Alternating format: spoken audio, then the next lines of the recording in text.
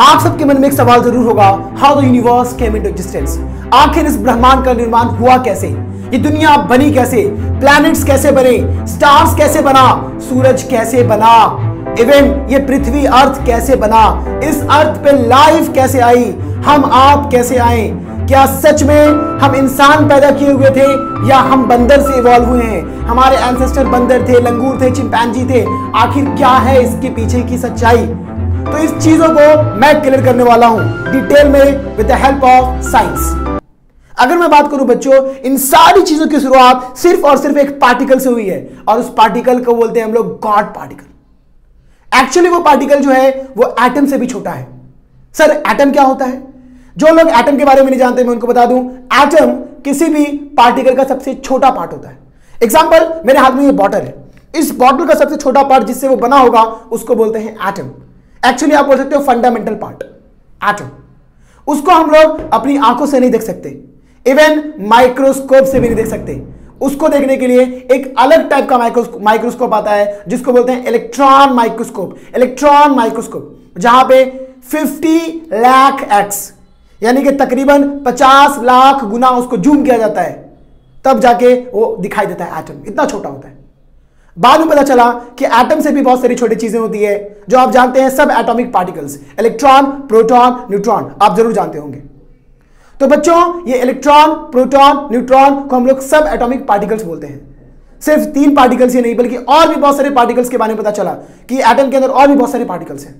उनमें से एक है हिग्स बोसोन जिसको बोला जाता है गॉड पार्टिकल ये बहुत छोटा है, बहुत छोटा। एटम से आप बोल सकते हो कि हज़ारों गुना छोटा है। या शायद ये भी वैल्यू उसके लिए कम हो। इतना छोटा। बताया जाता है कि यही वो चीज़ है जिससे वो मास में कन्वर्ट होता है। हम जानते हैं हमारी बॉडी क्या है? हमारी मास है। मास और एनर्जी दोनों अलग अलग चीज़ होती है। आप जानते हैं। एनर्जी जो है वो लाइट के फॉर्म में है। मास जो है कोई पार्टिकल चीज़ है। तो वो जो मास है, वो उसी पार्टिकल से बना है। तो आइए समझते हैं कि गॉड पार्टिकल से चीज़ें बनी कैसे। तो एक पार्टिकल था हिग्स बोसोन जिसको गॉड पार्टिकल बोलते हैं, उसके अंदर बताया जाता है कि बहुत सारी एनर्जी उसके अंदर समाई हुई थी। और उस पर किसी एक चीज़ का कंट्रोल था, जो उसके सारे एनर्जी को कंट्रोल में रख रखा था। लेकिन अचानक से वो कंट्रोल खत्म हो गया, और वो पूरी तरह वो जो छोटा सा पार्टिकल था, उसने अपनी सारी एनर्जी निकाल दी, एक बहुत बड़ा धमाका हुआ। जिसको बोलते हैं बिग बैंग बिग मतलब बड़ा बैंग मतलब धमाका। वो इतनी छोटी सी चीज़ जो दिखाई भी नहीं देती है, उस पर पता नहीं किस तरीके से धमाका हुआ और फिर इतनी ज़्यादा इतनी ज़्यादा एनर्जी पैदा हुई कि आप उसकी कल्पना भी नहीं कर सकते हैं। बताया जाता है कि ये सब मामला जो है, वो एक सेकंड के, एक सेकंड के कई हज़ार करोड़वें हिस्से में हुआ। यानी कि one upon hundred billion second hundred billion hundred में नाइन टाइम्स ज़ीरो और लगा दो। यानी कि hundred hundred, zero zero zero zero zero zero zero zero zero. एक एक एक सेकंड ना, एक सेकंड, बात समझिए, एक सेकंड। एक सेकंड का हंड्रेड बिलियनवा हिस्सा मतलब एक सेकंड को हंड्रेड बिलियन हिस्से में बांट दो। इस टाइम को हम कैलकुलेट ही नहीं कर सकते। ऐसी कोई स्केल ही नहीं बनी जो इस टाइम को कैलकुलेट किया जाए। इस टाइम को प्लांक टाइम बोला जाता है, जो हमारी कल्पना से बाहर है। बताया जाता है कि ये पूरा ब्रह्मांड, पूरा यूनिवर्स प्लैनेट सन वगैरह सब एक सेकेंड में बना एक सेकेंड में और शायद एक सेकेंड से भी कम में बहुत अजीब लग रहा होगा आपको सुन के कि आखिर ये क्या बातें कर रहा हूँ मैं जी हाँ ऐसे ही हुई थी शुरुआत और उस टाइम इतनी गर्मी थी इतनी गर्मी थी टेम्परेचर जो था वो तकरीबन 10 to the power 32 degree Celsius यानी कि वन पे 32 times zero zero zero zero zero zero zero zero zero zero zero zero zero zero zero zero इस तरीके से 32 टाइम ज़ीरो था इतना ज़्यादा टेम्परेचर सोचिए। हाँ, सूरज की गर्मी उसके सामने फीकी पड़ जाएगी। अगर मैं सन की सन के टेम्परेचर की बात करूँ तो तकरीबन 15 मिलियन डिग्री सेल्सियस टेम्परेचर है सन का। तो सन के मुकाबले उसकी एनर्जी बहुत ज़्यादा थी क्योंकि सन उसी से ही बना है। उसके बाद धीरे धीरे धीरे धीरे ये जो है ना छोटा सा पार्टिकल एक्सपांड करता गया। एक छोटू सा पार्टिकल एक पॉइंट जैसा पार्टिकल जो एटम से कितना गुना छोटा है और वो इस तरीके से फैलता गया फैलता गया फैलता गया। और एक सेकंड में बहुत ज़्यादा फैल गया। एक सेकंड में वो इतना फैल गया, इतना फैल गया कि वो 14 बिलियन ईयर्स में भी इतना नहीं फैला होगा। इसको हुए कितना हो गया? 14 बिलियन ईयर्स अगो पहले हुआ था। यानी कि 14 बिलियन ईयर्स पहले हुआ था। समझ में आया? एक सेकंड में जितना वो एक्सपांड कर गया था, उतना इतने दिन में वो एक्सपांड नहीं किया। ये सारी कहानी सब एक सेकंड की है। सोचिए। फिर उस वहाँ पे इस तरीके से ब्रह्मांड बना और वहाँ पे सिर्फ़ क्लाउड था। क्लाउड और डस्ट पार्टिकल्स थे। आपने आइंस्टीन के इक्वेशन को सुना होगा, या देखा होगा कहीं पे E is equal to M C square इसका मतलब क्या है? इसका मतलब यह है कि एनर्जी को हम मास में कन्वर्ट कर सकते हैं और मास को एनर्जी में कन्वर्ट कर सकते हैं। जिसका सबसे बेहतर एग्ज़ाम्पल है एटम बॉम्ब एटम बॉम्ब क्या है? एक मास कोई पार्टिकल है एटम है, उस एटम का इस्तेमाल करके बहुत ज़्यादा एनर्जी पैदा कर इतनी ज़्यादा एनर्जी कि अगर एटम बॉम्ब किसी सिटी पर गिरा दिया जाए तो वो सिटी नक्शे से गायब हो जाएगा। वो सिटी निस्त नाबूद हो जाएगा, तबाह बर्बाद हो जाएगा। जिस तरह यूएसए ने हिरोशिमा और नागासाकी जापान में बम गिराया था। तो देखो, आज भी वहाँ लोग लंगड़े लूल्हे पैदा होते हैं। आज भी वो मिट्टी पे घास नहीं जमता है। इतना बड़ा उसका असर हुआ था। इतना ज़्यादा खतरनाक है वो। इस इक्वेशन से भी पता चला कि एक ग्राम, सिर्फ़ एक ग्राम कोई भी चीज़ ले लो, एक ग्राम मैटर एक gram particle three into ten to the power eight calorie energy पैदा कर सकता है। Three into ten to the power eight calorie यानी कि तीस करोड़ आई थिंक तीस करोड़ कैलोरी एनर्जी पैदा कर सकता है। और अगर बहुत ज़्यादा आप मास ले लोगे तो सोचो कितनी एनर्जी पैदा कर सकता है। इवन एनर्जी को भी मास में कन्वर्ट किया जा सकता है। तो उस टाइम सिर्फ़ और सिर्फ़ एनर्जी थी और पूरा क्लाउड था। ग्रेविटेशन फ़ील्ड पैदा हुआ। एक्चुअली वो जो हिक्स बोसोन पार्टिकल था, वहाँ से वेव जनरेट हुई, जिसको बोलते हैं हिक्स फ़ील्ड उस फ़ील्ड की वजह से ग्रेविटेशन पैदा हुआ। ग्रेविटेशन आप जानते हैं, किसी भी चीज़ को हम छोड़ते तो नीचे गिरता है ड्यू टू ग्रेविटेशन ग्रेविटेशन की वजह से सूरज के चारों तरफ़ अर्थ घूम रहा है, अपने ऑर्बिट में, और मून उसके मून अर्थ के चारों तरफ़ घूम रहा है। ये सब ग्रेविटेशन का कमाल है। ग्रेविटेशन पैदा हुआ। और ग्रेविटेशन कैसे वो एनर्जी कन्वर्ट हुआ छोटे छोटे मास पार्टिकल में छोटे छोटे पार्टिकल्स में। वो छोटे छोटे पार्टिकल्स ग्रेविटेशन की वजह से हिक्स फ़ील्ड की वजह से आपस में कोलैप्स करने लग गए, आपस में जुड़ने लग गए। धीरे धीरे धीरे धीरे जुड़ते जुड़ते जुड़ते जुड़ते। आप जानते हो इलेक्ट्रॉन बना प्रोटॉन बना। क्योंकि हिग्स हिग्स बोसोन बोसोन जो है, वो सबसे छोटा, बहुत छोटा पार्टिकल एक इलेक्ट्रॉन बना। एक इलेक्ट्रॉन और एक प्रोटॉन जुड़ के क्या बना? हाइड्रोजन आप जानते हैं हाइड्रोजन के अंदर एक इलेक्ट्रॉन और एक प्रोटॉन होता है। इस तरह हाइड्रोजन बना। उसके बाद दो इलेक्ट्रॉन दो प्रोटॉन इस तरह हीलियम बना। हाइड्रोजन और हीलियम बना। और बार बार बार बार उनके बीच में ग्रेविटेशन उनके बीच में रिएक्शन उनके बीच में टकराव पैदा हो रहा था, जिसके से रिएक्शन हुआ। और रिएक्शन की वजह से बन गया वो हाइड्रोजन बॉम्ब आपने सुना होगा। हाइड्रोजन बॉम्ब बहुत खतरनाक बॉम्ब है। हाइड्रोजन बॉम्ब इतना खतरनाक बॉम्ब है कि वो सिर्फ़ एक शहर नहीं, एक एक एक शहर नहीं, एक कंट्री को तबाह कर सकता है। कंट्री एक देश को, किसी पर्टिकुलर कंट्री को तबाह कर सकता है। इतना विनाशकारी होता है हाइड्रोजन बॉम्ब जो हमारे सूरज के अंदर है। तो वही रिएक्शंस वहाँ पे कंटिन्यूस फॉर्म में होना चालू हुआ और बहुत ज़्यादा गर्मी पैदा हुई और इस तरह पैदा हुआ हमारा पहला सन दैट इज़ सन पहला स्टार बोलो, पहला स्टार दैट इज़ सन इस तरह सूरज बना। इतनी तहकती हुई गर्मी थी उसमें। अभी भी यूनिवर्स में बहुत ज़्यादा गर्मी थी।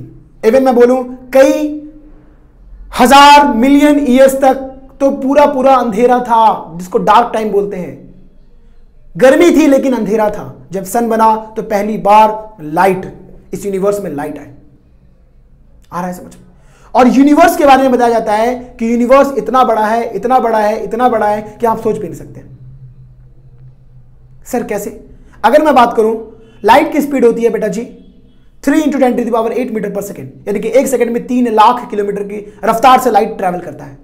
और सन से लाइट को अर्थ पे आने में आठ मिनट और तीस सेकेंड लगता है। यानी कि अगर मान लो सन तबाह हो जाता है, सन बर्बाद हो जाता है तो आठ मिनट तीस सेकेंड बाद अपने को पता चलेगा। अगर लाइट इसी स्पीड से एक साल तक ट्रैवल करे तो वो डिस्टेंस ट्रैवल करेगी nine four six one billion kilometre.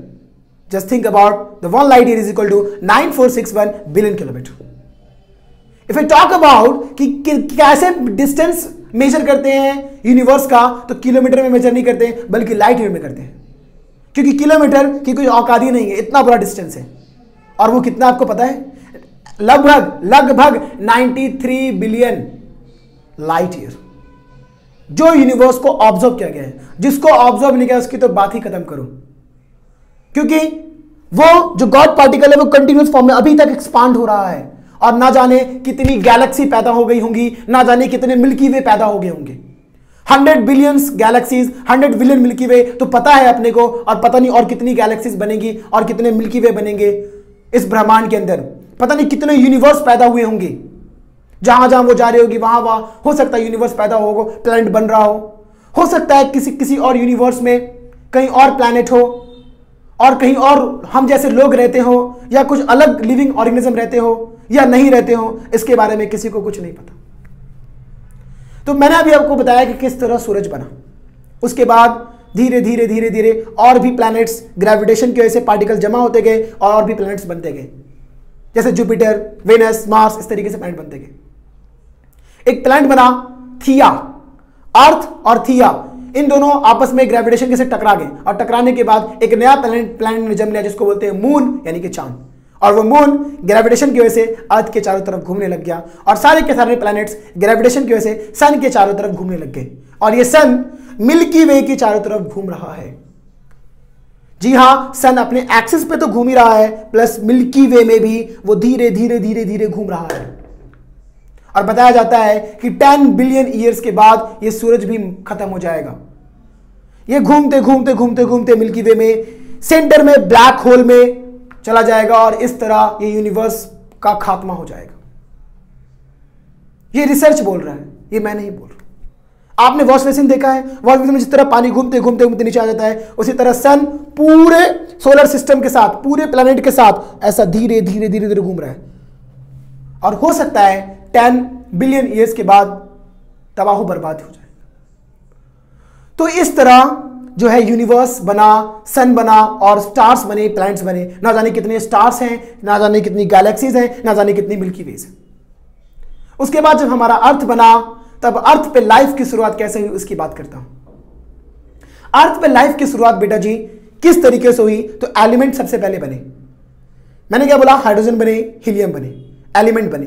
तो अर्थ पे अभी कुछ एलिमेंट थे, जैसे कार्बन था हाइड्रोजन था। सल्फ़र था, इस तरह के एलिमेंट। क्योंकि वहाँ पे गैस थे। हाइड्रोजन सल्फाइड गैस थे। अमोनिया गैस था। हाइड्रोजन एलिमेंट था। कार्बन एलिमेंट था।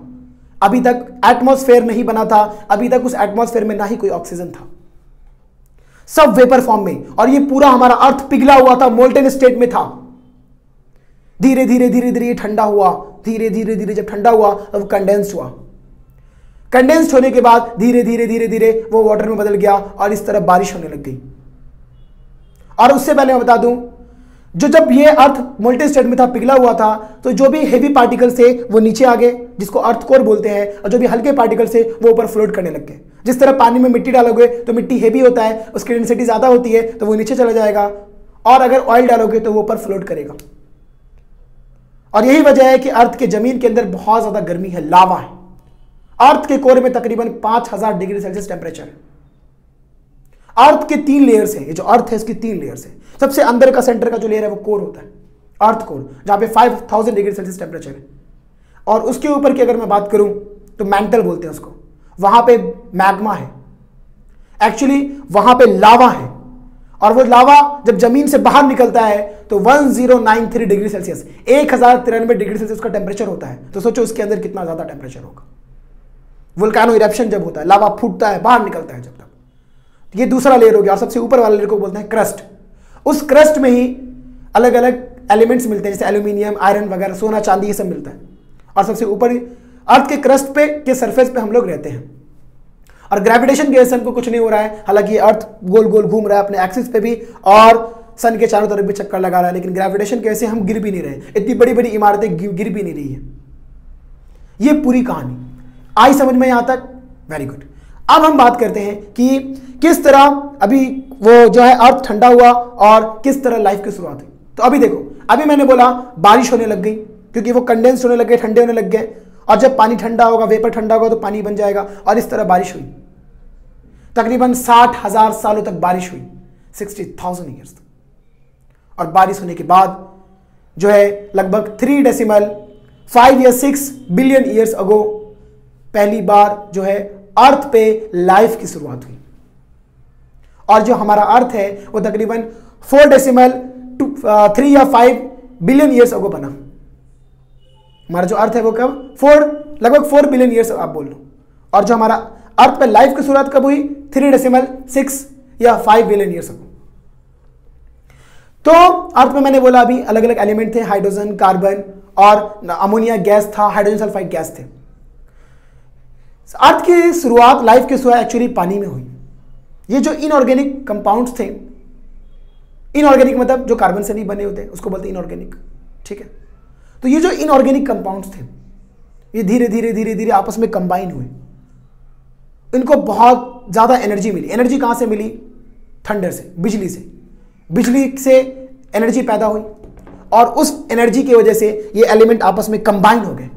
और कंबाइन होने के बाद एक कंपाउंड बना, पहला सिंपल ऑर्गेनिक कंपाउंड बना। और फिर धीरे धीरे धीरे वो ऑर्गेनिक कंपाउंड कार्बन हाइड्रोजन आपस में मिलते मिलते अमाइनो एसिड और प्रोटीन बन गया। और हम जानते हैं, हमारी बॉडी के सेल के न्यूक्लियस के अंदर होता है डीएनए जिससे हम बने हैं। डीएनए नहीं तो कुछ नहीं, और वो डीएनए किससे बना है? प्रोटीन से बना। और प्रोटीन का छोटा सिंपलेस्ट फॉर्म क्या होता है? अमाइनो एसिड तो इस तरह जब वो आपस में जुड़े तो प्रोटीन बना अमाइनो एसिड्स बने। हाइड्रोकार्बन बने, राइबोज शुगर बने, जिससे हम बने और धीरे धीरे धीरे धीरे, फिर इस तरीके से हम जानते हैं कि डीएनए उस चीज़ से बना है। मतलब इस तरह डीएनए बना होगा। और फिर धीरे धीरे धीरे धीरे, अभी तक अच्छे से सेल डेवलप भी नहीं होगा और पहला ऑर्गेनिज्म जिसको बोलते हैं प्रोटोप्लाज्म, वो बना। फिर प्रोटोप्लाज्म इवॉल्व धीरे धीरे धीरे धीरे उससे एक अच्छा सेल बन गया जो अच्छे से ग्रो किया, जिसके अंदर न्यूक्लियस और डीएनए सब आए। यूनिसेल्युलर फिर यूनिसेल्युलर से धीरे धीरे धीरे मल्टी सेल्युलर ऑर्गेनिज्म और धीरे धीरे उस मल्टी सेल्युलर से आज इतनी बॉडी कॉम्प्लेक्स बॉडी हमारे इंसान की बनी। तो इस तरीके से पूरा इवोल्यूशन हुआ। इवोल्यूशन की अगर मैं बात करूँ तो इस इवोल्यूशन में बच्चों, आपको पता है कि तकरीबन eight decimal seven million species earth पे। लगभग 87 लाख स्पेसीज जिसमें शायद हमको 12 लाख स्पेसीज के बारे में अच्छे से पता है, बाकी के बाकी बारे में पता भी नहीं है। बाकी के बारे में इंफॉर्मेशन भी नहीं है। इतनी सारी स्पेसीज आखिर आई कैसे? इस अर्थ पे। जैसे अगर मैं बात करूँ प्लांट्स में या एनिमल्स में, छोटा यूनिसेलुलर ऑर्गेनिज्म से लेके, एक बैक्टीरिया से लेके मल्टी सेलुलर ऑर्गेनिज्म इंसान, और प्लांट में क्लोरेला से लेके एक बड़ा प्लांट ये जो इतनी कॉम्प्लेक्स बॉडी ही कैसे बनी? तो इन सब का इवोल्यूशन हुआ। जब पहला प्रोटोप्लाज्म बना तो वो धीरे धीरे धीरे धीरे इवॉल्व होके अमीवा बने पैरामीशियम बने। फिर धीरे धीरे धीरे धीरे वो इवॉल्व करके फ़िश बने।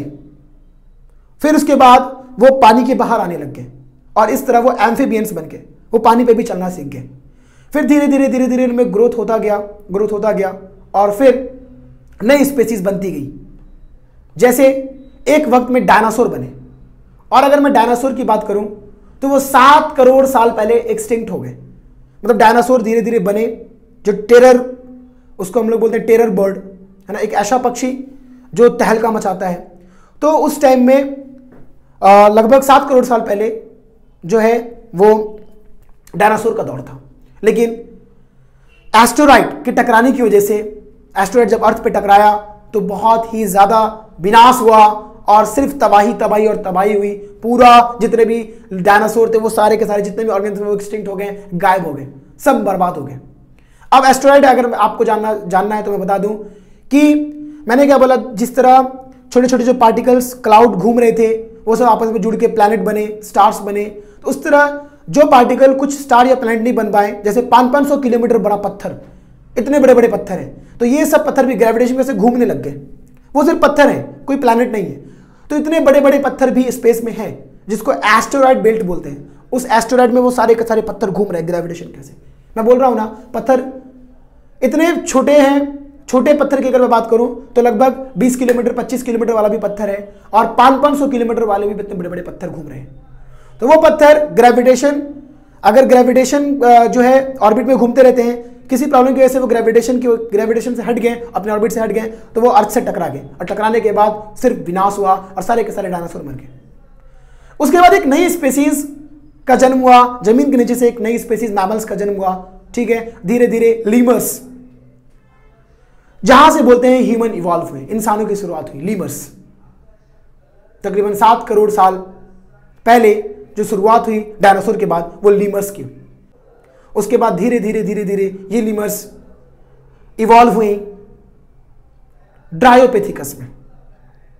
एक्चुअली पहले उससे इजिप्टोपेथिकस ये भी ये क्या है? ह्यूमन इस तरह के दिखते थे अलग अलग इनका नाम दिया गया ह्यूमन का। उसी तरह फिर ड्रायोपिथिकस ऑस्ट्रेलोपिथिकस रामापिथिकस। इस तरीके से इवोल्यूशन होता रहा।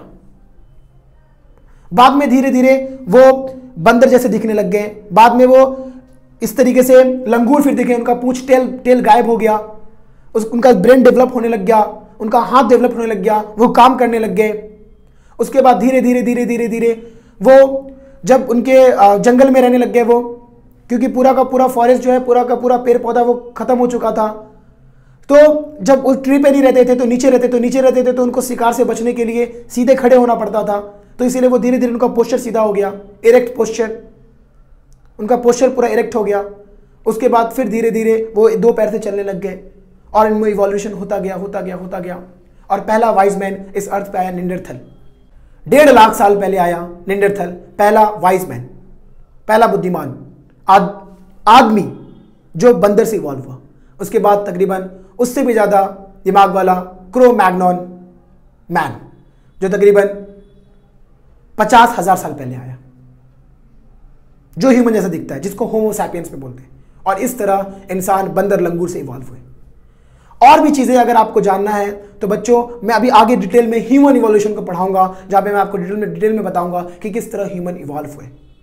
इवन इसके लिए पूरा पूरा एविडेंस है पूरा पूरा प्रूफ है कि किस तरह सच में इसका प्रूफ है एविडेंस दिया गया है कि हम जो है, कैसे बंदर से इंसान बने। अब बहुत सारे सवाल आपके मन में घूम रहे होंगे। जैसे कि वो गॉड पार्टिकल कहाँ से आया?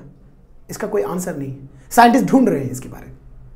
और शायद ये बिलीव भी कर रहे हैं कि there is God there is some natural power जिसने वो गॉड पार्टिकल बनाया होगा। क्योंकि वेदास में भी इवन बाइबल इवन और जो भी रिलीजियस बुक है है कि नहीं, उस रिलीजियस बुक में भी लिखा हुआ है कि जो दुनिया बनी, वो बिग बैंग से बनी। तो इस बिग बैंग को ज़रूर किसी ने कराया होगा और जहाँ तक मेरा मानना है कि वो सुपर नेचुरल पावर गॉड उसने ही ये किया होगा। क्योंकि ये इंसानों के बस में नहीं। इंसान एटम के इलेक्ट्रॉन तक सही से नहीं पहुँच पाए हैं और वो हिग्स बोसोन के बारे में तो बात करना दूरी है। इस थेरी को तो माना जा रहा है, क्योंकि ये थेरी रिलीजियस बुक में भी मैंसेंट है कि बिग बैंग से इस दुनिया की शुरुआत और भी कुछ आपके मन में सवाल चल रहे होंगे, जैसे अलग अलग रिलीजियस में अलग अलग चीज़ें मैंसेंट है। जैसे अगर मैं हिंदू में बोलूँ तो वहाँ पे लिखा हुआ है कि सबसे पहले दुनिया में मनु और श्रद्धा ह्यूमन आए इंसान। और फिर इनसे पॉपुलेशन बढ़ा और इस तरह फिर दुनिया की शुरुआत हुई लाइफ की शुरुआत हुई। मतलब पहले हम ह्यूमन ही थे, बंदर नहीं थे। जबकि बाइबल बोलता है कि पहले एडम एंड ईव्स आए और फिर उनसे दुनिया की शुरुआत हुई। वो भी बोलते हैं कि पहले इंसान आए। इवन मुस्लिम की बात करूँ मैं तो वहाँ पे भी आदम एडम को आदम एंड ईव्स को हवा बीबी हवा इन दोनों सबसे पहले ज़मीन पे आए अर्थ पे आए और फिर इनसे दुनिया की शुरुआत हुई और लोग अलग अलग बने। मतलब सारी रिलीजियस बुक ये मानती है कि इंसान इंसान ही आए थे, ना कि बंदर आए थे। बंदर बंदर ही आए थे, गधे गधे ही आए थे, बैल बैल ही आए थे। और अगर मैं बोलूँ तो सच यही ही है। क्योंकि साइंस के पास बहुत ज़्यादा ठोस सबूत नहीं है इसको लेकर के कि हम बंदर थे। There is no too much evidence तो आपको पढ़ना ही है, क्योंकि इसके बारे में बात चल रही है, लेकिन सच ये है बच्चों कि हम इंसान थे और सच में इस दुनिया में पहले दो इंसान आए। According to Bible Adam and Eves वो पहले आए। अकॉर्डिंग टू इस्लाम आदम अल इस्लाम एंड बीबी हुआ आए, और फिर उनसे ये जनरेशन बढ़ा, और हमारे एंसेस्टर जो थे, वो ह्यूमन ही थे, इंसान ही थे। ये मेरा भी पॉइंट ऑफ़ व्यू और यही सच भी है। जैसा कि हमने देखा evolution is gradual change occurring in living organisms over long duration मतलब कई सालों के बाद अगर उस लिविंग ऑर्गेनिज्म में चेंजेस आ जाता है और एक नई स्पेसी बन जाती है, उसी को बोलते हैं इवोल्यूशन आप ऐसे ही बोल सकते हो formation of new species due to changes in specific character of several generation of living organisms उस लिविंग ऑर्गेनिज्म के कई जनरेशन के बाद उसके स्पेसिफिक कोई कोई स्पेसिफिक कैरेक्टर में कुछ चेंजेस आ जाता है जिसको हम लोग बोलते हैं इवोल्यूशन जैसे कि हमने बोला और मैंने अभी बताया आपको कि हम पहले बंदर थे या मंकी थे और किस तरह से उसको इवॉल्व हुए।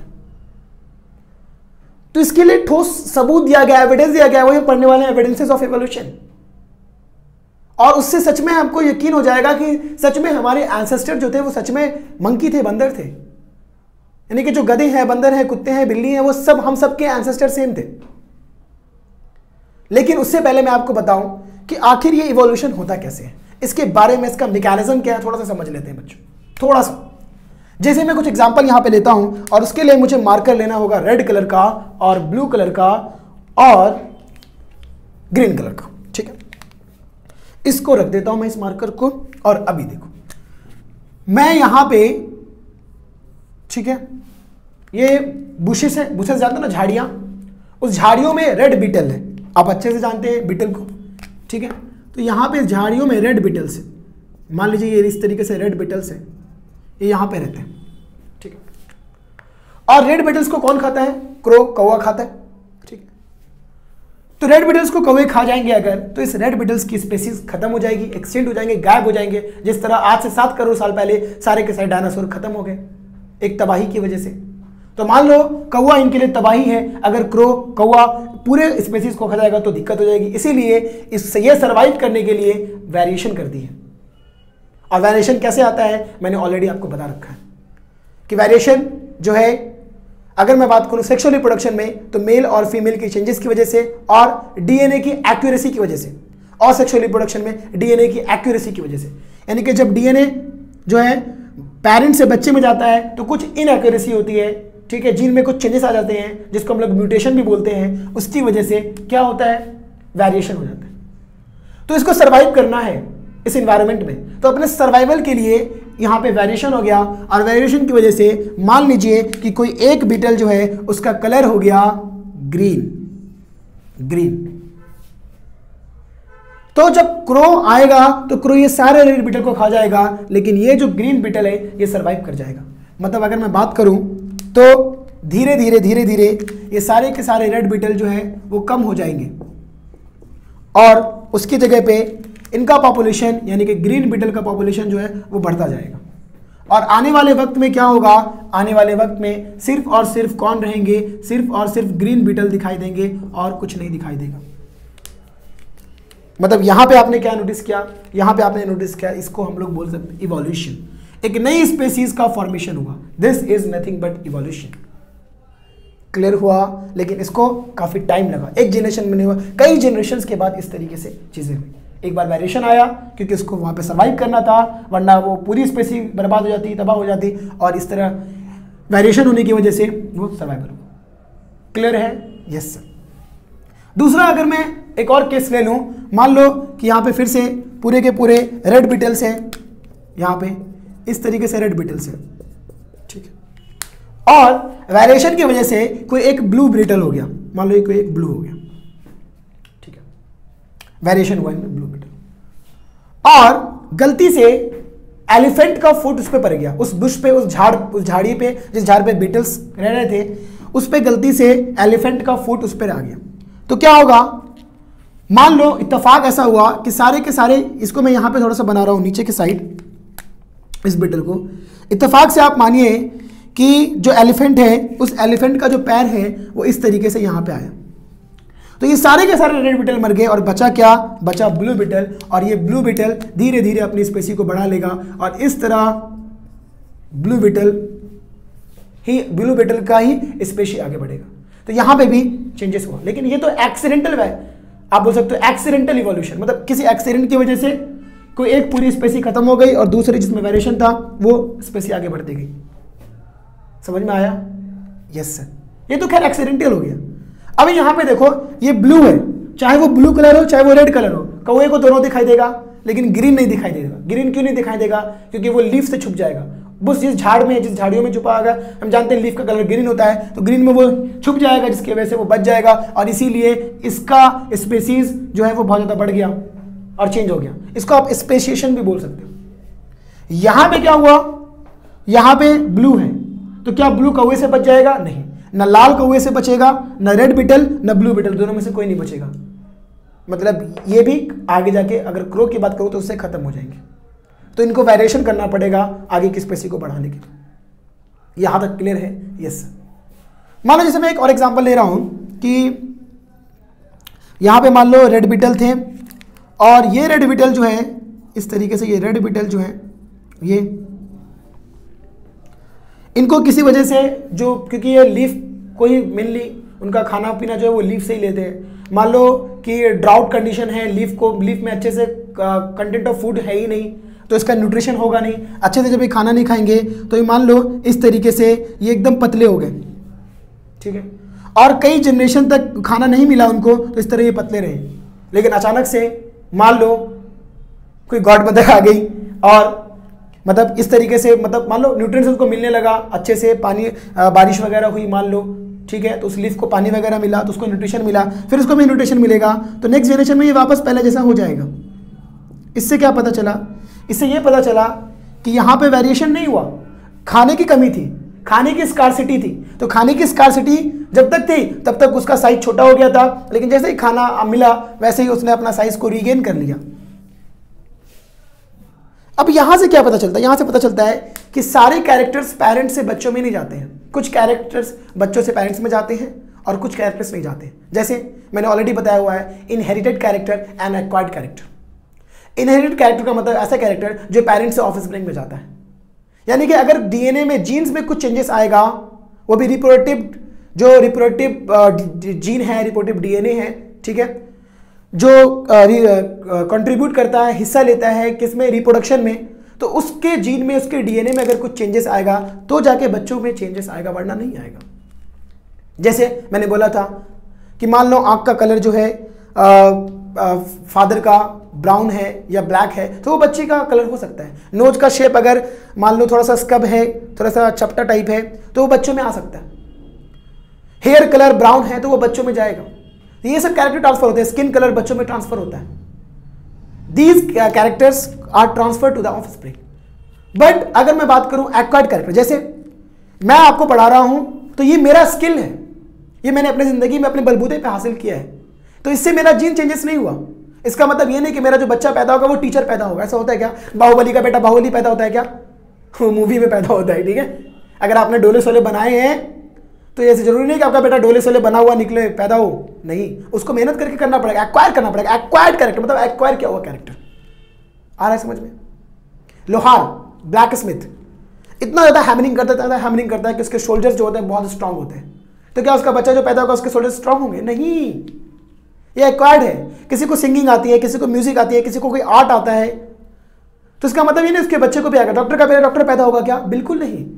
वो उसका स्किल है। उसने अपनी ज़िंदगी में अपनी मेहनत से वो हासिल किया है। तो वो उसके बच्चे में नहीं आएगा जब तक वो बच्चा उसका मेहनत नहीं करेगा। तो these are the acquired character मतलब सारे के सारे कैरेक्टर ट्रांसफ़र नहीं होते। यहाँ पे ये समझ में आया कि ये, इसको खाने की कमी थी तो ये कम साइज़ कम हो गया। लेकिन खाना मिला तो वापस आ गया। मतलब ये नहीं कि आने वाले जनरेशन में फिर बच्चे छोटे हो जाएँगे। लेकिन यहाँ पे क्या हुआ? सर्वाइव करने के लिए इसके रिप्रोडक्टिव जीन में चेंजेस हो गया। जिसकी वजह से आने वाले फ्यूचर जनरेशन क्योंकि एक ही बच्चा ये एक बार वेरिएशन हो गया। वेरिएशन होने के बाद वो, ये वेरिएशन हुआ कलर और मैंने बोला एग्ज़ाम्पल जैसे मैंने हमने स्किन का कलर बोला आई कलर बोला तो ये सब क्या है? ये सब कैरेक्टर को बोले तो हेरिडिटी कैरेक्टर्स तो ये हेरिडिटी कैरेक्टर्स है। ये ट्रांसफ़र होते हैं एक जनरेशन दूसरे जनरेशन और इसकी वजह से इवोल्यूशन होता है। इवन नेचुरल सिलेक्शन डार्विन की थ्योरी में पढ़ाऊँगा आपको Darwin theory of natural selection जिसके हिसाब से ओनली फिटेस्ट कैन सर्वाइव मतलब इस इसको इन्वायरमेंट में ज़िंदा रहना था, इसकी स्पेसी खत्म नहीं होने वाली थी। तो इसने क्या किया? रिप्रोडक्शन करते टाइम वेरिएशन हो गया यहाँ पे। ठीक है? और वेरिएशन से एक ऐसा बेबी है जिसका कलर ग्रीन था, जो लीफ में छुप सकता था। और इसने फिर अपने जनरेशन को बढ़ाया और फिर एक नई स्पेसी बन गई। तो इस तरह इवोल्यूशन हुआ। बहुत सारी थेरीज है इवोल्यूशन की, जैसे डार्विनिज्म डार्विन बताते हैं कि किस तरह इवोल्यूशन हुआ। उनका कहना है कि इन्वायरमेंट के हिसाब से, यानी कि अगर मैं इस इन्वायरमेंट में सर्वाइव कर रहा हूँ, मैं इस इन्वायरमेंट में सर्वाइव कर रहा हूँ तो यहाँ पे मैं जो है अपने स्पेसीज को बढ़ाऊँगा। जो नहीं कर पा रहा, उसकी स्पेसी खत्म हो जाएगी। और अगर मान लो एटमोस्फेयर इन्वायरमेंट चेंज हो गया तो मुझे इसके हिसाब से चेंज करना पड़ेगा वेरिएशन आ जाएगा। अगर मुझे वेरिएशन नहीं आया तो प्रकृति मेरा नाश कर देगी। इस चीज़ को मैं एलेबरेट करूँगा आगे। इसको डार्विन थेरी बोलते तरह लैमार्किज्म ने एक थेरी दी लैमार्किज्म जानेंगे। ठीक है? उसी तरह एक और थेरी है स्पेसिएशन तो इन ती, ये तीनों थेरी ये बताती है कि किस तरह इवोल्यूशन हुआ। उस चीज़ को हम देखेंगे। पहले मैंने आपको इवोल्यूशन बता दिया ये समझ में आया कि इवोल्यूशन का मैकेनिज्म क्या है। अब हम इसके एविडेंस को देख लेते हैं कि आखिर कौन से ऐसे प्रूफ है जिससे ये साबित होता है कि हमारे एंसेस्टर जो हैं वो सेम थे। एविडेंसेस ऑफ़ इवोल्यूशन में सबसे पहले हम देखेंगे मॉर्फोलॉजिकल एविडेंस क्या बच्चा? मॉर्फोलॉजिकल एविडेंस बोलिए मेरे साथ मॉर्फोलॉजिकल एविडेंस सर, ये क्या होता है? बच्चा मॉर्फोलॉजी का मतलब स्टडी ऑफ़ स्ट्रक्चर किसी भी लिविंग ऑर्गेनिज्म के बॉडी स्ट्रक्चर की स्टडी को बोलते हैं मॉर्फोलॉजी तो मॉर्फोलॉजिकल एविडेंस मतलब अगर स्ट्रक्चर को देखा जाए तो कुछ एनिमल्स के स्ट्रक्चर सिमिलर दिखते हैं। इसका मतलब उनके एंसेस्टर उनके पूर्वज सब सेम है कॉमन है। जैसे यहाँ पे आप इमेज में देखो। आपको दिख रहा है dog sheep and wolf yes sir आप बताओ सिमिलरिटीज क्या क्या दिख रही है? पोजीशन ऑफ़ आइज़ देखिए। सबके आँखों का पोजीशन सिमिलर सबके माउथ का स्ट्रक्चर सिमिलर सबके नॉस्ट्रल का स्ट्रक्चर सिमिलर सबके ईयर पिना का स्ट्रक्चर सिमिलर दिख रहा है? सबकी बॉडी में जो है ना थिक हेयर है मोटे मोटे बाल है।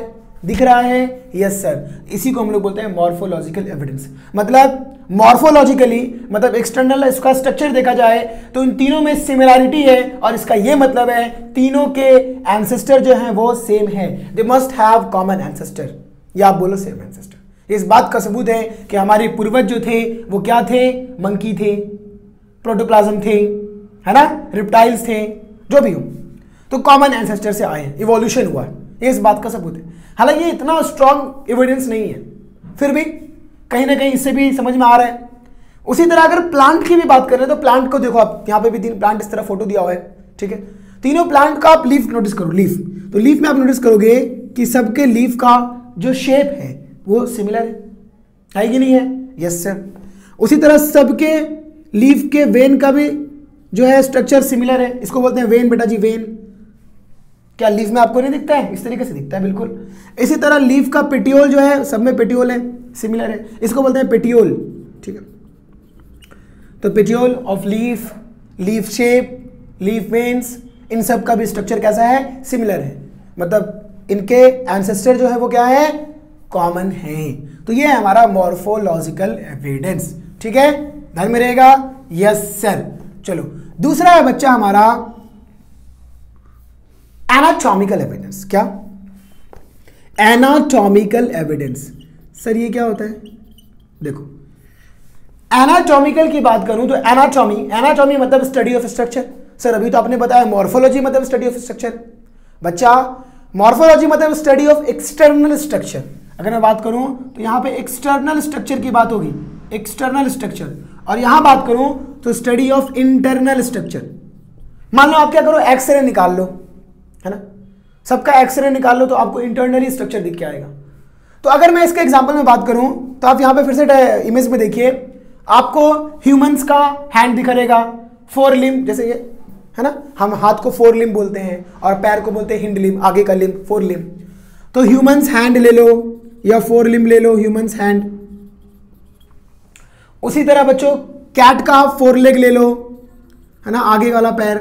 उसी तरह जो बैट है बैट का विंग ले लो, उसी को पैटेजियम बोलते हैं। Patagium of bing patagium of bing wing बोल रहा हूँ यार bat patagium of bat patagium मतलब क्या? विंग पंख। उसके पंख को बोलते हैं हम लोग।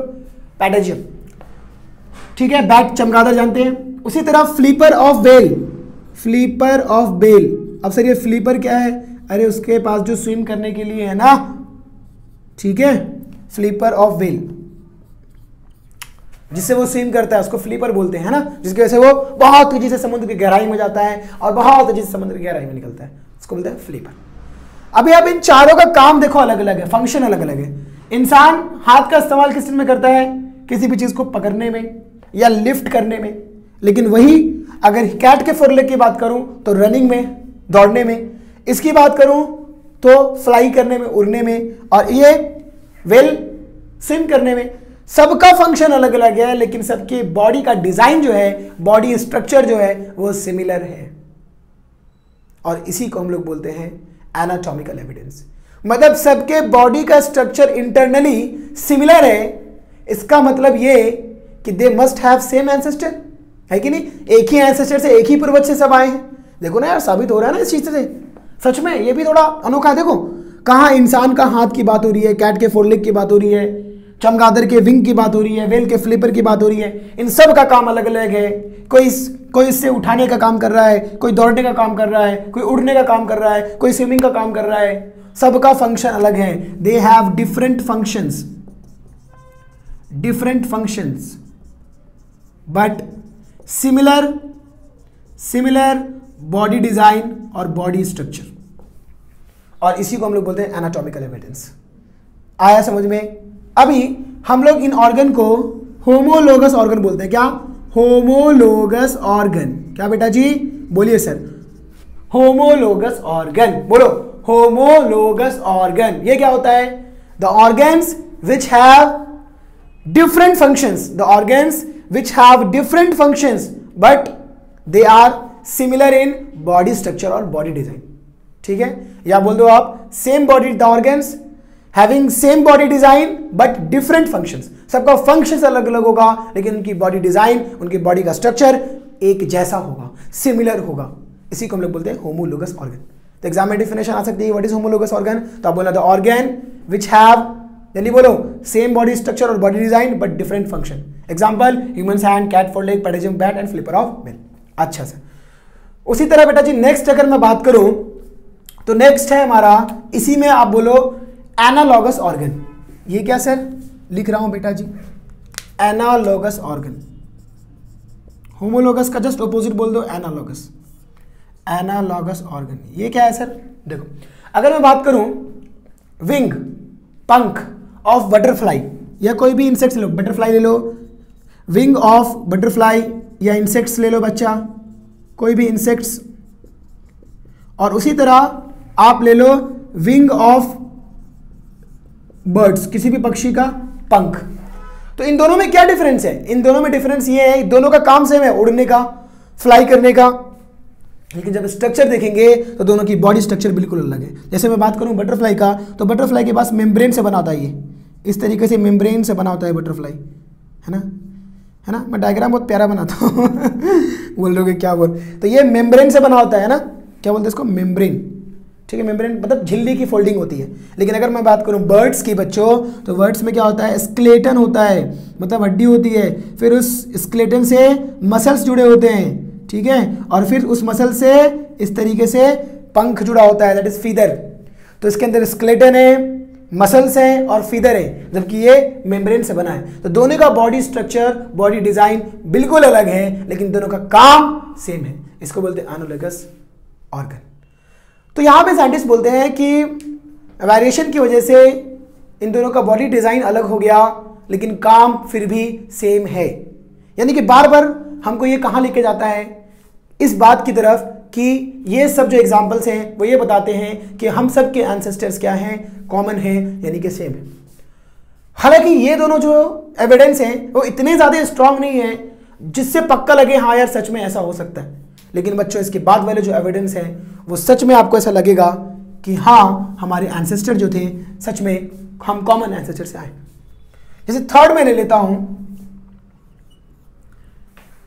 पैलेंटोलॉजिकल एविडेंस क्या?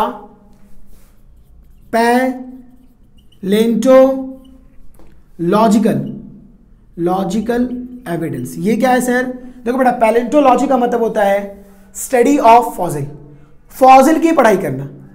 सर, ये फॉजिल क्या होता है? आप जानते हो बच्चा मिलियन ईयर्स अगो बहुत, कई लाखों साल पहले क्या हुआ?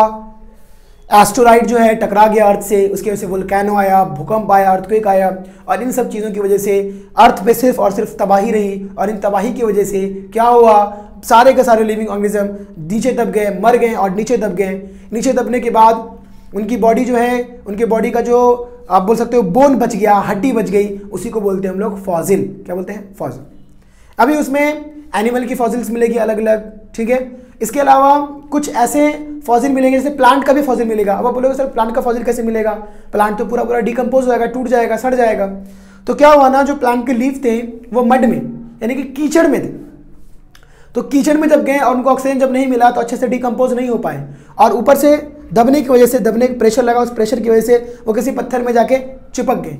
और इसकी वजह से उस पत्थर में उसका क्या आ गया बेटा? निशान निशान आ गया साइन आ गया। तो उस, आपको पत्थर में दिखेगा तो उसको बोलते हैं हम लोग प्लांट्स के फॉजिल्स तो प्लांट्स के फॉजिल्स मिले एनिमल के फॉजिल्स मिले, है ना? बहुत सारे ऐसे एनिमल्स जिनको, जिनमें बोन्स नहीं हैं, उनके भी फॉजिल मिले। कैसे? क्योंकि उन पत्थरों में एक निशान आ गया, एक साइन आ गया, उससे पता चला। तो ऐसे समझो चुपचाप स्टडी ऑफ़ फॉजिल फॉजिल मतलब क्या?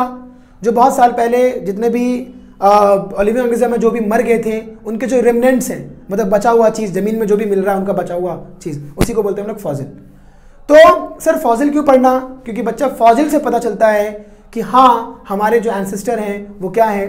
कॉमन है. कैसे? तो फॉजिल की स्टडी दो तरीके से की जाती है. एक रिलेटिव स्टडी और एक कार्बन डेटिंग मेथड एक रिलेटिव मेथड और एक कार्बन डेटिंग मेथड अब सर रिलेटिव मेथड क्या है? तो देखो अर्थ में सबसे पहले क्या हुआ? मैं बात कर रहा हूँ। रिलेट कर रहा हूँ मैं रिलेटिव मेथड अर्थ में देखा गया कि सबसे नीचे सबसे नीचे वाले लेयर में ज़मीन की जब खुदाई हुई तो सिंपल सी बात है, जो सबसे नीचे मिलेगा, वो पहले आया होगा और जो सबसे ऊपर मिलेगा, वो बाद में आया देखो ना, बने बहुत सारे, इतने सारे लेयर मुझे एक गड्ढा खोदना है तो जो सबसे नीचे मिलेगा, वो जब पहले आया होगा तभी तो वो दबते दबते एकदम नीचे चला गया। और जो उसके बाद आया होगा, वो उसकी उसकी फॉजिल, उसकी हड्डी ऊपर मिलेगी, उसकी फॉजिल, उसके ऊपर उसके ऊपर। तो देखा, सबसे नीचे ना बच्चा मिला इनवर्टेब्रेट्स का। सर, ये इनवर्टेब्रेट्स क्या होते हैं? बच्चा जिनको ना बोन्स नहीं होते, हड्डी नहीं होते। ऐसा एक्चुअली बोल सकते हैं जिसको स्पाइनल कॉर्ड नहीं होता है। स्पाइनल बोन के अंदर एक स्पाइनल कॉर्ड होता है फ्लेश ऑर्गन है ना? तो जिसकी बॉडी में नहीं होता, उसको बोल देते हैं इनवर्टेब्रेट्स इनवर्टेब्रेट्स उसके बाद सब, उसके ऊपर दिखेंगे वर्टेब्रेट्स हम लोग सब वर्टेब्रेट्स में आते हैं, ठीक है? फ़िश वगैरह भी वर्टेब्रेट्स में आती है। उसके ऊपर फ़िश का मिला। ठीक है फिशेस फ़िश को हम लोग पीसेस भी बोलते हैं। ठीक। उसी तरह फ़िश की बात करूँ अच्छा यहाँ पे लिख देता हूँ फिशेस ठीक। है इन्वर्टेब्रेट के बाद फिशेस ठीक। है फिर उसके बाद रेप्टाइल्स उसके बाद ऊपर मिले रेप्टाइल्स के। रेप्टाइल जैसे सांप वगैरह रेंगने वाले। ठीक। है उसके ऊपर मिले एम्फीबिया की। एम्फीबियंस ठीक है? रेप्टाइल्स एम्फीबियंस एम्फीबियन जैसे मेढक हो गया, जो पानी में भी रहता है और ऊपर भी रहता है। उसी तरह एव्स के, यानी कि बर्ड्स के, यानी कि पक्षी आप बोल लो, और ऊपर में मिला मैमल्स मैमल्स क्या होता है? जिसको मेमोरी ग्लैंड हो। जैसे हम लोग मैमल्स में आते हैं। मेमोरी ग्लैंड का मतलब ये होता है जिसमें फीमेल के पास मेमोरी ग्लैंड हो जिससे वो बच्चों को दूध पिलाती है। ठीक है? अच्छा। तो मैमल्स का सबसे ऊपर मिला, यानी कि इसका मतलब मैमल्स जो है वो बाद में आई मतलब यहाँ से इवोल्यूशन चालू हुआ मतलब इस अर्थ पे पहले इनवर्टेब्रेट्स आया होगा। फिर उस वो धीरे धीरे धीरे धीरे वेरिएशन हुआ और धीरे धीरे इवोल्यूशन हुआ। मैंने बोला, ये इवोल्यूशन तुरंत नहीं होता है। कई सालों लग जाते हैं इसको। कई सालों। और कई सालों क्या कई मिलियन ईयर्स बोल सकते हो आप? मतलब कई मिलियन ईयर्स के बाद ये इन्वर्टेब्रेट्स इवॉल्व हो गया होगा फ़िश में, और ये फ़िश फिर धीरे धीरे धीरे धीरे इवॉल्व हो गया होगा रेप्टाइल्स में, यानी कि अब वो रेंगने लग गया होगा, और फिर ज़मीन पर आ गया होगा, यानी कि एम्फीबियन जो ज़मीन पर भी रह सकते हैं और पानी में भी रह सकते हैं। और फिर क्या होगा, वो उड़ने लगे होंगे। हो सकता है कि वो उनको कोई उनका कोई शिकार कर रहा हो, उससे बचने के लिए वो भागना चाहे हो। है कि नहीं? ऐसा बोल सकते हैं। तो क्या हो गया हो? फिर धीरे धीरे वो उड़ने की कोशिश किए हो। और उड़ने की कोशिश की हो तो कई जनरेशन के बाद फिर उसमें पंख आ गया हो विंग आ गया हो। और फिर वो एप्स यानी कि बर्ड्स बन गए हो। उसी तरह फिर धीरे धीरे वो इवॉल्व होकर क्या बने? मैमल्स तो ये इस बात को सबूत है कि पहले जो है वो इनवर्टेब्रेट्स आए। उसके बाद फिर, क्योंकि ज़मीन के सबसे निचले हिस्से में जब खुदाई की गई तो नीचे इन्वर्टेब्रेट्स था। नीचे मैमल्स क्यों नहीं था? मतलब पहले मैमल्स नहीं आए, पहले इन्वर्टेब्रेट्स आए। देखो ना, ये प्रूफ है। ऐसे ही साइंस थोड़ी ना बोल रहा आपको प्रूफ दे रहा है। अच्छा इसके बाद अगर मैं दूसरी बात करूँ ना that is carbon dating method क्या? कार्बन डेटिंग मेथड दूसरी स्टडी ये रिलेटिव मेथड है, दूसरा कार्बन डेटिंग मेथड ये क्या कार्बन डेटिंग मेथड से हम किसी भी फॉजिल का ईयर बता सकते हैं कि वो कितने साल पुराना है। किसी भी फॉजिल का ईयर बता सकते हैं कि वो कितने साल पुराना है। कैसे? तो इस बात को विलार्ड लिबी विलार्ड लिबी नाम के साइंटिस्ट ने बताया था और उनको 1960 में नोबेल प्राइज भी मिला था। एक्चुअली हमारे बॉडी में ना बेटा, कार्बन जो है वो दो तरीके से होते हैं, एक कार्बन 12 और एक कार्बन 14 आप लोग अच्छे से केमिस्ट्री में मैंने पढ़ा है आइसोटोप्स आइसोटोप्स का मतलब क्या? एलिमेंट जो है उसका एटॉमिक नंबर सेम होगा, लेकिन उसका मास अलग अलग होगा। जैसे कार्बन एटॉमिक नंबर तो सिक्स ही है, लेकिन कुछ कार्बन का एटॉमिक मास ट्वेल्व है, कुछ का फोर्टीन इसको बोलते हैं आइसोटोप्स ये हम जानते हैं। तो हमारे बॉडी में कार्बन ट्वेल्व भी है कार्बन फोर्टीन भी है। अगर मैं कार्बन फोर्टीन की बात करूँ ना तो कार्बन फोर्टीन हमारे बॉडी में लगभग ट्वेंटी थ्री परसेंट है। और ये कार्बन फोर्टीन ना बच्चा रेडियो एक्टिव है। मैं इसी को पर्टिकुलर बात कर रहा हूँ क्योंकि रेडियो एक्टिव है। रेडियो एक्टिव का मतलब क्या? रेडियो एक्टिव का मतलब ये होता है जो अपने आप डीकम्पोज रहे एटमोसफेयर में अपने आप धीरे धीरे धीरे धीरे गायब हो जाए। कैसे गायब हो जाते हैं? वहाँ से रेडिएशन निकलने लगता है। एटमोसफेयर की एयर से वो रिएक्शन कर लेते हैं और रेडिएशन निकलने लगता है। और रेडिएशन तो हमको दिखेगा नहीं तो हम क्या मानेंगे? गायब हो गया। जैसे फ्रेंडसियम एक एलिमेंट है। अगर आप उसको रख दो तो उसका हाफ़ लाइफ टाइम 25 मिनट्स है। यानी कि 25 मिनट में आधा गायब हो जाएगा। उसी तरह कार्बन 14 भी रेडियो एक्टिव है। कार्बन 14 जो है ना, इसका हाफ़ लाइफ टाइम लगभग 5700 है। 5700 ईयर्स इसका लाइफ टाइम यानी कि आधा गायब होने में 5700 साल लगेंगे इसको। क्लियर है? यस सर तो हमारी बॉडी में 23 परसेंट नॉर्मल कार्बन 14 है। तो जब तक हम ज़िंदा हैं, तब तक वो रेडियो एक्टिव एलिमेंट कार्बन 14 जब वो मेंटेन रहता है। क्योंकि मान लो रेडियो एक्टिव है तो धीरे धीरे डिकम्पोज होगा। डिकम्पोज होगा, लेकिन हम खाना भी तो खा रहे हैं, वो मेंटेन होता रहेगा। जब तक हम ज़िंदा हैं, वो कार्बन 14 और 12 का रेशियो जो है, वो मेंटेन होता रहेगा, जित 14 लेकिन जैसे ही अगर इंसान मर जाता है तो सिंपल सी बात है, खाना पीना तो खाएगा नहीं न्यूट्रिशन तो लेगा नहीं। तो क्या होगा कार्बन फोर्टीन का अमाउंट उसमें कम हो जाएगा। धीरे धीरे धीरे धीरे वो डिकम्पोज होने लगेगा क्योंकि रेडियो एक्टिव एलिमेंट है। तो जो भी फॉजिल मिले, उस फॉजिल में देखा गया कि कार्बन 14 कितना है। एग्ज़ाम्पल ले लो, मान लो कि एग्ज़ाम्पल बता रहा एक ग्राम को खत्म होने में 10 साल लग रहे हैं। तो बताओ 10 ग्राम को खत्म होने में सौ साल। तो अगर मैं देखा कि इस फॉजिल के अंदर 10 ग्राम खत्म हुआ है तो मतलब ये सौ साल पुराना है। तो इस तरह कार्बन 14 का कंटेंट देख के अमाउंट देख के किसी भी फॉजिल का डेट बताया जा सकता है। और ये बात बिलार्ड लिवी ने बताई थी और इसी को बोलते हैं कार्बन डेटिंग मेथड और कार्बन डेटिंग मेथड से पता चला कि बहुत सारे ऐसे आ, क्या बोलते हैं फॉजिल पता चले जो बहुत पुराने हैं और वो इनवर्टेब्रेट्स हैं। जैसे अगर मैं बात करूँ तो तकरीबन 180 मिलियन ईयर्स अगो कितने? 180 million years ago ammonite image में देखो, आप यहाँ पे इमेज में दिखा रहा हूँ मैं। अमोनाइट अमोनाइट जो है, वो एक फॉजिल है। एक्चुअली ये भी एक इनवर्टेब्रेट्स है। इनवर्टेब्रेट्स में तो मैंने पहले बताया कि मतलब इनकी बॉडी में इंटरनली कोई बोन्स नहीं होता है। आप बोल सकते हो इंटरनली कोई स्केलेटन नहीं होता है। लेकिन एक्सटर्नली हो सकता है, जैसे अमोनाइट के केस में है। स्नेल जैसा ही है।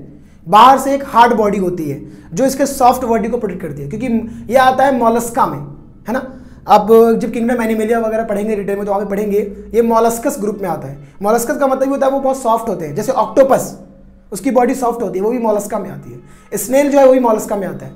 वो है सॉफ्ट लेकिन उसके ऊपर एक एक्जोस्केलेटन बोलते हैं मतलब बाहर का जो कवर होता है, वो तो हार्ड होता है वो। कैल्शियम कार्बोनेट का बना होता है, उसके प्रोटेक्शन के लिए, है ना? तो ये अमोनाइट अमोनाइट हो गया। उसी तरह ट्राइलोबाइट ट्राइलोबाइट अब ये क्या? ये भी एक फॉजिल है जो 400 टू 500 मिलियन ईयर्स अगो मिला। 400 टू 500 मिलियन ईयर्स और बताया जाता है कि ये जो है, ये मराइन ऑर्थ्रोपॉड्स था।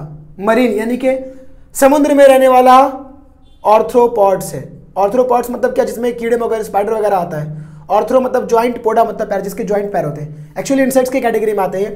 तो मरीन में रहने वाला ऑर्थ्रोपोड ठीक है? मरीन में रहने ये 400 टू 500 मिलियन ईयर्स को पता चला। ये भी इन्वर्टेब्रेट्स ही है। इसी तरह और फॉजिल की बात करूँ तो आप लोग जानते होंगे डायनासोर जानते हो? यस सर डायनासोर एक टेरिबल लिजार्ड है ना? एकदम आतंक फैलाने वाला, डरावना लिजार्ड टेरिबल लिजार्ड है कि नहीं? जो कार्निवर्स भी था, और कुछ लोग बोलते हैं कि हर्वीवर्स भी था। तो वो डायनासोर की अगर बात हो डायनासोर के बारे में बहुत सुना भी होगा आपने, ठीक है? बहुत सारी मूवीज़ में भी डायनासोर का दिखाया गया तो जो डायनासोर थे ना, ये तकरीबन 250 मिलियन ईयर्स अगो आए थे। 250 million years ago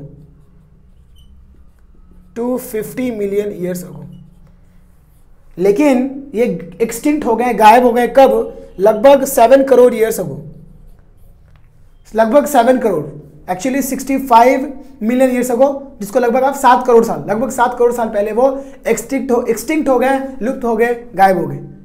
क्योंकि क्या हुआ था? अर्थ पे जो है ना एस्टोराइड टकरा गया था, जिसकी वजह से बहुत ज़्यादा वोल्केनो अर्थक्वेक वगैरह आया तो सिर्फ़ तबाही हुई और सारे के सारे डायनासोर जो है ना, खत्म हो गए। तो अगर मैं बात करूँ ना बच्चा तो ये अमोनाइट ट्राइलोबाइट डायनासोर ये सब एक्सटिंक्ट हो चुके हैं, इनके फॉजिल मिले थे। जो मैं आपको यहाँ पे इमेज में दिखा रहा हूँ, देख लो यहाँ पे।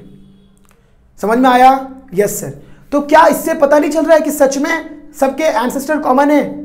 सबसे पहले इन्वर्टेब्रेट्स आए, फिर उसके बाद वर्टेब्रेट्स आना चालू हुए और सबसे ऊपर जो है मैमल्स के फॉजिल मिले। तो these are the evidences of evolution तो ये तो हो गया, एक एक्सटर्नली स्ट्रक्चर सिमिलर हो रहा है, उसी तरह एनाटॉमिकल इंटरनली स्ट्रक्चर सिमिलर हो रहा है। उसी तरह फॉजिल जो है वो इस बात को साफ़ कर रहे हैं कि हमारे एंसेस्टर कॉमन थे। इवन नेक्स्ट अगर मैं बात करूँ fourth that is embryological embryological तो एक काम को इसका स्क्रीनशॉट ले लो, फिर इरेज करके मैं बताता हूँ एम्ब्रोलॉजिकल डन तो नेक्स्ट इज़ एम्ब्रोलॉजिकल क्या बेटा जी, बोलिए मेरे साथ एम्ब्रोलॉजिकल सर, ये क्या होता है? बेटा एम्ब्रोलॉजी मतलब स्टडी ऑफ़ एम्ब्रो बच्चे की स्टडी करना। कौन सा बच्चा जब माँ के वो यूट्रेस में रहता है तब? आप यहाँ पे इमेज में देखो कि यहाँ पे चाहे वो टॉर्टाइज का बच्चा हो सैलमेंडर का बच्चा हो चिकन का बच्चा हो यानी चिकन हो, या फिर पिग हो पिग का बच्चा काव इवन आप ले लो रैबिट या आप ले लो इंसान, सबके बच्चे का पहला स्टेज देखो फ़र्स्ट स्टेज में आप सबको देखो। You will see the extreme similarities between them आपको बहुत ज़्यादा सिमिलैरिटी दिखाई देगी एक्सट्रीम एकदम। आप पहचान भी नहीं पाओगे कि कौन किसका बच्चा है फ़र्स्ट स्टेज में। कंफ्यूज हो जाओगे। लेकिन वही अगर धीरे धीरे स्टेज आप देखोगे डेवलपमेंट होगा तो सेकेंड और थर्ड स्टेज के बाद आपको अच्छे दिखने लगेगा कि हाँ हाँ ये इंसान का बच्चा है हाँ हाँ ये रैबिट का बच्चा। तो इससे क्या पता चल रहा है? इससे पता चल रहा है कि सिमिलरिटी फ़र्स्ट स्टेज में रहता है। इसका मतलब क्या? कि they all have the common origin उन सब का ओरिजिन जो है वो कॉमन है। They must have the common ancestor इस बात का प्रूफ देखो ना। पैलेंटोलॉजिकल फॉजिल से भी पता चला था हाँ यार मतलब सबके ओरिजिन सेम है। फॉजिल सबसे पहले इसमें वो आएँगे इन्वर्टेब्रेट्स आएँगे। देखो, यहाँ भी इससे भी पता चल रहा है कि सबका ओरिजिन फिर क्यों सेम है? सबके बच्चे एक ही जैसे फिर क्यों दिख रहे हैं? मतलब they all have the common origin ये भी इस बात का एविडेंस है। नेक्स्ट है वेस्टिजियल ऑर्गन क्या? वेस्टिजियल सर ये क्या होता है? बेटा जी ऐसे ऑर्गन ना, जो किसी सर्टेन ऑर्गेनिज्म की बॉडी में यूजलेस हो, लेकिन किसी दूसरे ऑर्गेनिज्म की बॉडी में यूजफुल हो। सर समझ में नहीं आया? देखो एग्ज़ाम्पल आप इमेज वहाँ पे देखो, वर्मी फॉर्म अपेंडिक्स अब ये जो अपेंडिक्स होता है ना बेटा, ये हमारी बॉडी में किसी काम का नहीं यूजलेस है। नॉन फंक्शनल लेकिन रूमिनेंट्स एनिमल के बॉडी में ये फ़ंक्शन होता है। रूमिनेंट्स का मतलब? रूमिनेंट्स का मतलब होता है बेटा जी, ऐसे एनिमल्स जो जुगाली करते हैं। यानी कि ऐसे समझो, गाय, भैंस, है ना? इवन गोट ये सबको क्या होता है? बकरी वगैरह। रूमिनेंट्स एनिमल बोलते हैं। ये एनिमल क्या खाते हैं? Uncooked food they are herbivores है ना? मतलब क्या खाते हैं वो? सिर्फ़ पेड़ पौधे खाते हैं। और उनको रॉ खाते हैं, वो अनकुक्ड फ़ूड खाते हैं। दे ईट अनकुक्ड फ़ूड बिना पका हुआ खाना खाते हैं ना भाई?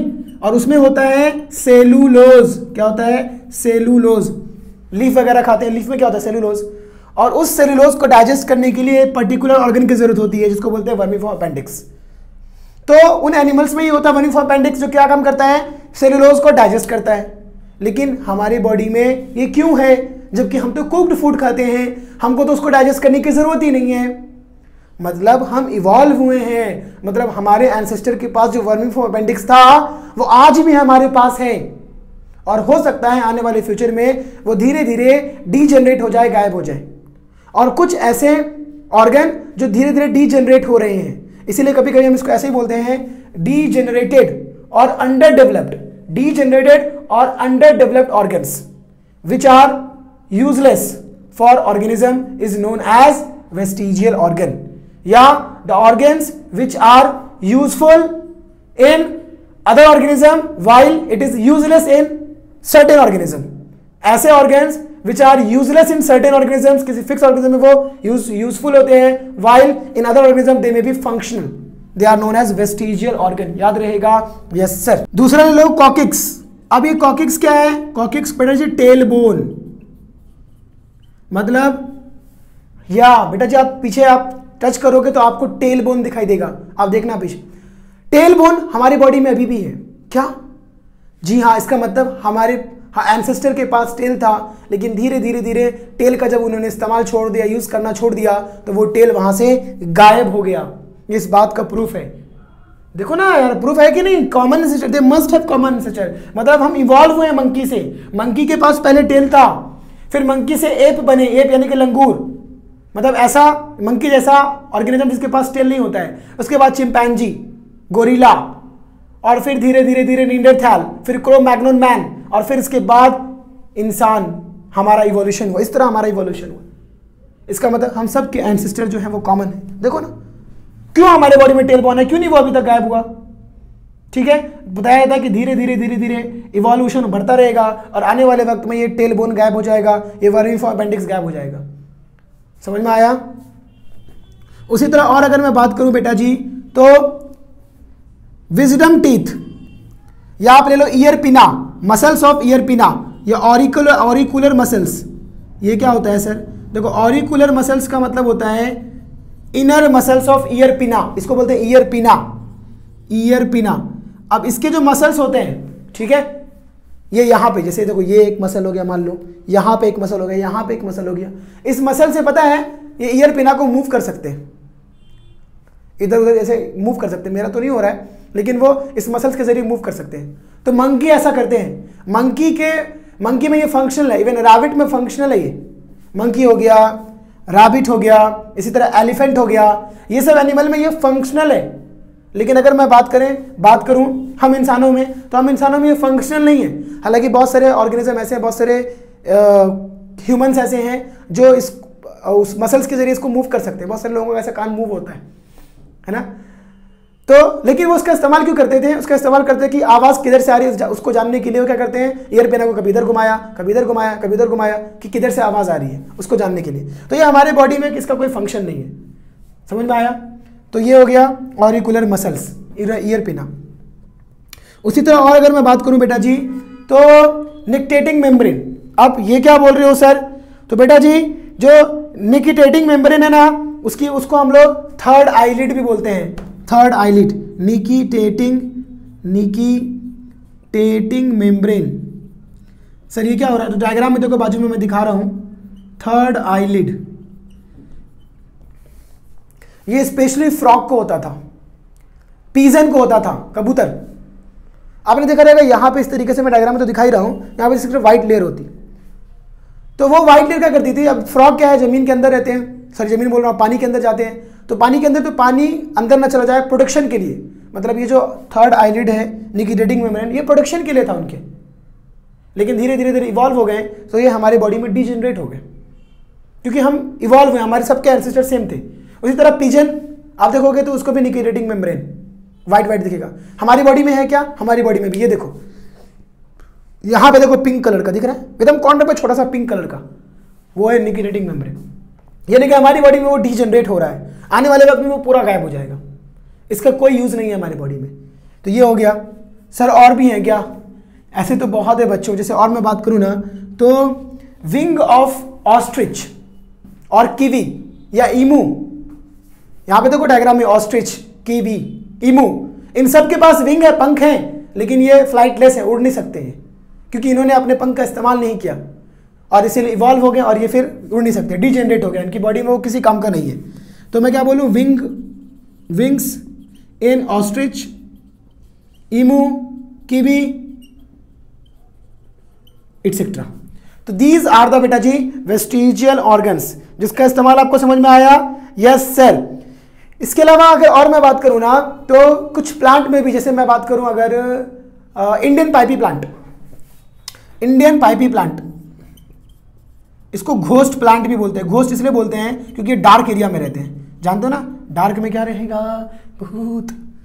तो इंडियन पाइपी प्लांट देखो यहाँ पे इमेज में व्हाइट व्हाइट कलर के होते हैं वो इंडियन पाइपी प्लांट अब ये जो होते हैं ना, इनका लीफ जो है ना, वो यूजफुल नहीं है यूजलेस है। हाँ?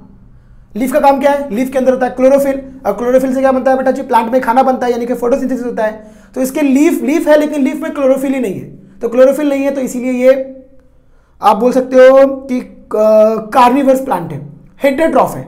मतलब दूसरा ऑर्गेनिज्म को खाता है फंगस वगैरह को खाता है ये। मतलब ये अपना खाना खुद नहीं बनाता हेट्रोट्रॉफ है।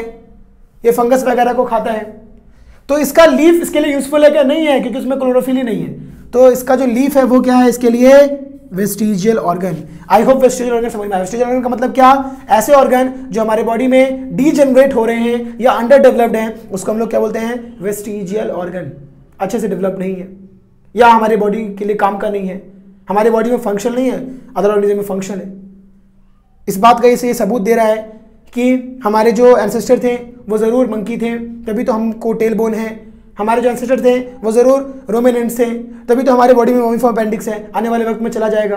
यानी कि they must have common ancestor इससे पता चल रहा है। क्लियर हो रहा है? देखो ना, कितने ज़्यादा एविडेंस इस बात को प्रूफ कर रहे हैं। यस सर नेक्स्ट है बच्चा हमारा कनेक्टिंग लिंक तो इसको रेज कर रहा हूँ मैं. And last one is connecting link screenshot ले लिए. Yes sir very good next six बेटा इज़ कनेक्टिंग लिंक क्या? कनेक्टिंग लिंक जैसे अगर मैं बात करूँ archaeopteryx archaeopteryx sir, ये क्या है? कुछ लोग इसको बर्ड लाइक डायनासोर भी बोलते हैं. एक्चुअली ये एक ऐसा ऑर्गेनिज्म है जिसमें कुछ फीचर बर्ड जैसा है और कुछ फीचर जो है वो रेप्टाइल्स जैसा है। और ये बहुत फ़ेमस हुआ था अपने टाइम पे, जब ये फॉजल मिला था तो। ठीक है डार्विन ने सबसे बड़ा प्रूफ आर्क्योप्टेरिक्स को ही दिया था कि देखो, इस आर्क्योप्टेरिक्स में बर्ड लाइक फीदर्स है। इसके पास जो पंख था फीदर था, वो बर्ड जैसा था। और रेप्टाइल जैसे इसके टीथ थे दांत जो थे इसके इसके पास टीथ था कैसा? रेप्टाइल जैसा। तो रेप्टाइल वाला भी फीचर था इसके पास, और बर्ड्स वाला ही फीचर था। समझ में आया? तो ऐसा फ़र्स्ट ऐसा पहली बार बर्ड मिला, जिसके पास रेप्टाइल वाला फीचर था। इसलिए बहुत फ़ेमस हुआ था कई मैगजीन में भी आया था, जब इसका फॉजल मिला था तो आर के रेप्टेरिक्स मतलब it is the connecting link between bird and reptiles इसके लिए पता चल रहा है कि इनके जो है ना एंसेस्टर वो बर्ड्स और रेप्टाइल्स हैं। तभी तो ये इनके जैसा दिख रहा है। इवोल्यूशन की वजह से दोनों के फीचर इसमें आ गए। बात समझ में आ रहा है? ये भी इस बात का सबूत दे रहे हैं कि we must have the common ancestor आ रहा बार बार देखो वही आंसर इसके अलावा इस, इसके तो आर्कप्टेरिक्स का फॉजल मिला था. इसके अलावा और मैं बात करूँ ना तो पेरीपेटस सर ये क्या होता है? पेरीपेटस जो है ना ये एक ऐसा ऑर्गेनिज्म है जो एनिलिडा और ऑर्थ्रोपोडा का कनेक्टिंग लिंक है. क्या? एनिलिडा और ऑर्थ्रोपोडा का. ठीक? एनिलिडा में क्या आते हैं? देखो एनिलिडा में ना जो आ, आप बोल सकते हो वॉर्म जैसे होता है ना, वो आते हैं। उनकी बॉडी ना बिल्कुल सेगमेंटेड होती है। सेगमेंटेड मतलब क्या? इस तरह से lining lining lining lining segment होता है। सेगमेंट मतलब क्या? टुकड़े टुकड़े में होता है। जैसे लाइनिंग लाइनिंग होता है उनकी बॉडी में। तो उस पेरीपेटस की जो बॉडी थी, वो एनिलीड के जैसे थी। सेगमेंटेड बॉडी थी। कैसी बॉडी थी? सेगमेंटेड बॉडी इवन एनिलिडा के जैसा ही थिन क्यूटिकल अब ये क्यूटिकल क्या होता है सर क्यूटिकल का मतलब उसके ऊपर पतले पतले पतले पतले लेयर थे। ठीक है?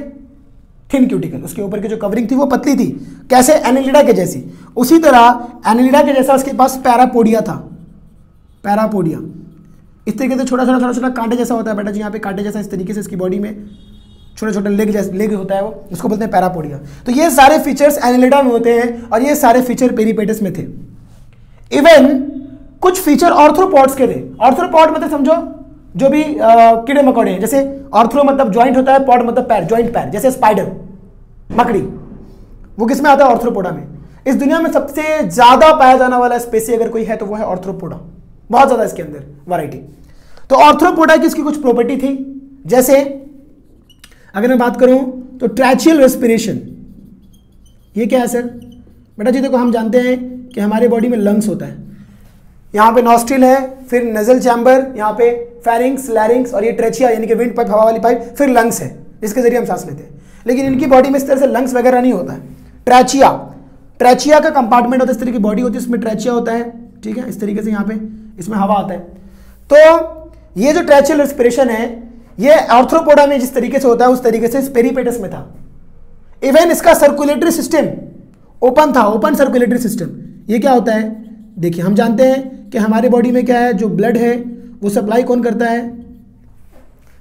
वो हार्ट करता है, दिल। दिल है कि मानता नहीं। तो ये जो हार्ट है, ये हार्ट से बहुत सारे वेजल्स खून की नसें जो है ना, या खून के नालियाँ बोलना ब्लड वेजल्स कनेक्टेड है। ये नहीं कि हर जगह पे ब्लड है ब्लड वेन्स में वेन जब कटेगा, तभी ब्लड निकलेगा। उस वेन्स के ज़रिए पूरी बॉडी में ब्लड जाता है। इसको बोलते हैं close circular system circulatory system जो हमारी बॉडी में। इनकी बॉडी में ऐसा, इनकी बॉडी एकदम सिंपल है यार कॉम्प्लेक्स बॉडी थोड़ी ना है, जो इनको क्लोज सर्कुलेटरी सर्कुलेटरी सिस्टम की ज़रूरत चाहिए। पूरा इनका ओपन है डायरेक्टली और हमारी बॉडी में हार्ट में चैम्बर भी है, ताकि ऑक्सीजनेटेड ब्लड और डी ऑक्सीजनेटेड ब्लड मिक्स ना हो, क्योंकि हमको एनर्जी की रिक्वायरमेंट बहुत ज़्यादा है, हमारी बॉडी बहुत कॉम्प्लेक्स है। इनकी बॉडी बहुत सिंपल है, इनको थोड़ी ना ज़्यादा एनर्जी चाहिए, इनमें सब मिक्स होता है। तो इसकी सर्कुलेटरी सिस्टम बिल्कुल ओपन थी। कैसा? ऑर्थ्रोपोडा के जैसा। तो ये फीचर्स ऑर्थ्रोपोडा जैसा मैच कर रहा था पेरीपेटस में, जबकि ये फीचर्स एनिलिडा जैसा। तो peripatus is connecting link between annelida and arthropoda आया समझ में? यस सर नेक्स्ट है डकबिल प्लेटिपस। Duckbilled platypus. ये क्या है? तो बेटा ये एक ऐसा ऑर्गेनिज्म है जो रेप्टाइल और मैमल्स के बीच का कनेक्टिंग लिंक है। रेप्टाइल्स एंड मैमल्स सर समझा नहीं? देखो रिप्टाइल जो होते हैं ना, वो अंडे देते हैं। दे ले एग एंड मैमल जो है ना, वो बच्चे पैदा करते हैं डायरेक्टली और उनके पास मेमोरी ग्लैंड होता है। मेमोरी ग्लैंड मतलब क्या? जो जो माँ जो है, जिस बच्चों को जो दूध पिलाती है, उस ग्लैंड को क्या बोलते हैं? मेमोरी ग्लैंड तो ये जो डकबिल प्लेटिपस इसके बाद दोनों फीचर थे। मतलब ये अंडे भी दे सकता था एज ए रेप्टाइल्स की तरह।